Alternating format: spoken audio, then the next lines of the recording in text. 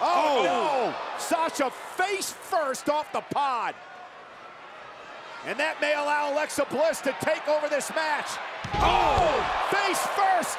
Cover by Bliss on Banks! Bliss is going to WrestleMania! Here is your winner and still the Raw Women's Champion, Alexa Bliss.